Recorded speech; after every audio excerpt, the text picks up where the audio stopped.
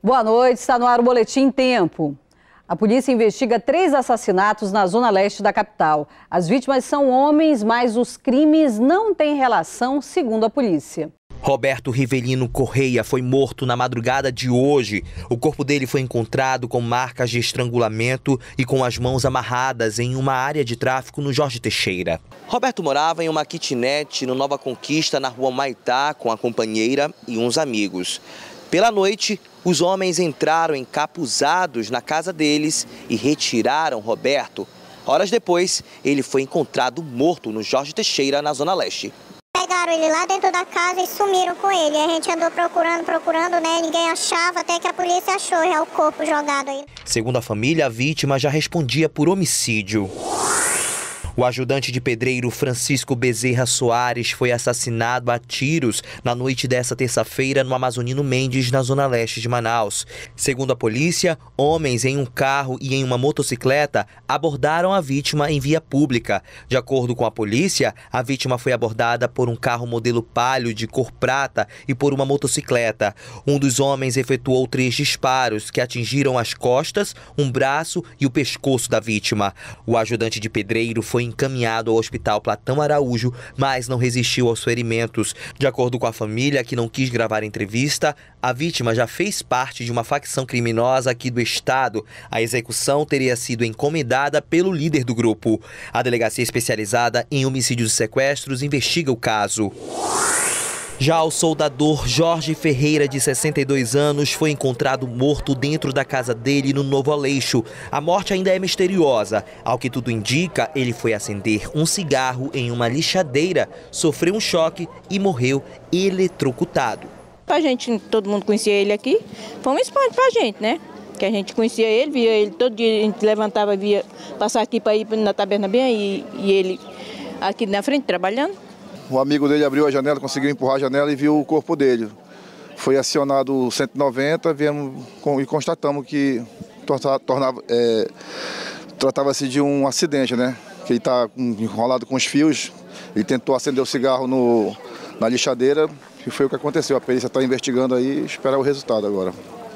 Uma reunião discutiu hoje as ações emergenciais que vão ser feitas na Santa Casa de Misericórdia. Os moradores de rua que usam o prédio vão ser acompanhados por assistentes sociais e alguns podem até serem contratados para trabalhar nas obras. Nos próximos dias, a Defesa Civil vai fazer uma inspeção no local para avaliar os riscos. Só depois as visitas técnicas vão ser realizadas. Os trabalhos foram exigidos pela Justiça, que determinou a recuperação do prédio.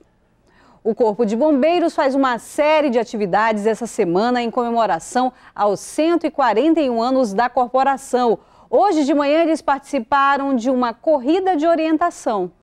Ponto de partida, Parque Sumaúma. Aqui funciona uma base do Corpo de Bombeiros, é o Batalhão Florestal. Uma conversa aqui, outra ali, definidas as estratégias e é hora da largada. Nós vamos entrar em ambiente de selva, né, para procurar os pontos, é, simulando aí uma, uma, uma busca, né, uma situação real, que a gente está acostumado a fazer já também. Eles participam de uma corrida na mata, e não é qualquer corrida. A trilha é essa aí. Os bombeiros usam bússolas e outros aparelhos na corrida de orientação. Eles foram divididos em equipes e ganha quem conseguir fazer o percurso em menos tempo.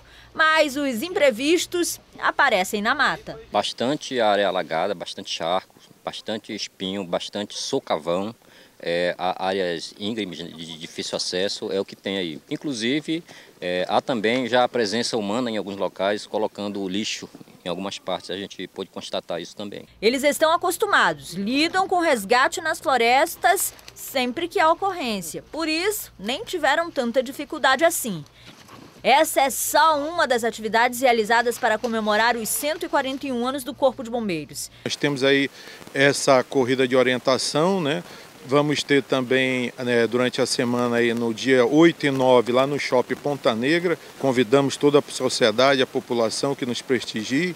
é, exposições com cães, equipamentos de mergulho, com todas as nossas atividades fins né, do Corpo de Bombeiros. A atividade comemorativa também serve como treinamento para eles.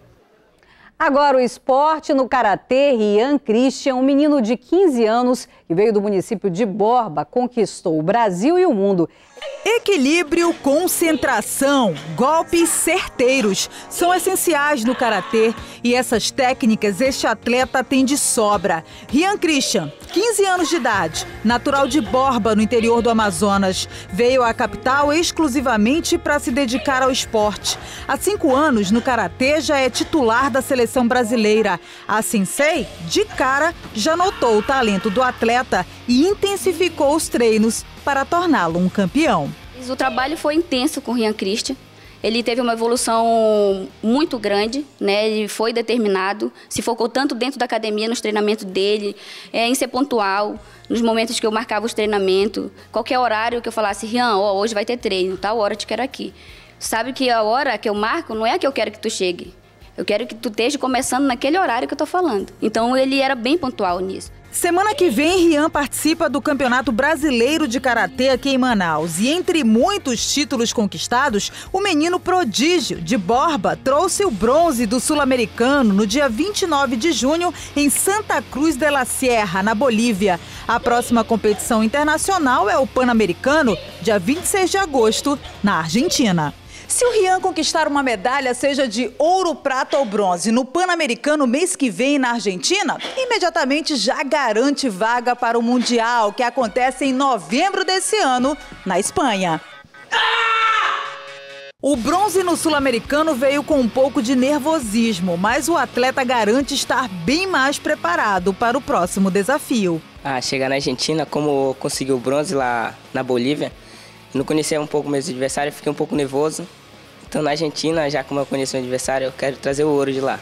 E que venham muitos campeonatos e, é claro, muitas vitórias, se depender do apoio da família e da dedicação que esse atleta tem ao karatê, as conquistas serão inevitáveis. E é isso que ele espera daqui para frente. Ter bastante sucesso, que continue assim, sempre ganhando, que um dia eu quero chegar a Tóquio 2020, nas Olimpíadas. Eu sou Marcela Rosa e esse foi o Boletim Tempo.